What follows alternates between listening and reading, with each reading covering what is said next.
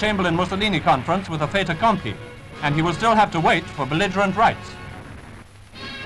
France, of course, opposes belligerent rights, and Monsieur Daladier, completing his Mediterranean tour, must return much heartened by what he has seen in the French North African colonies. His silk hat set firmly on his head, he goes ashore in Algiers for a drive through crowded streets. Then the colonial troops march past while the route is lined with horsemen in magnificent tunics under their cloaks.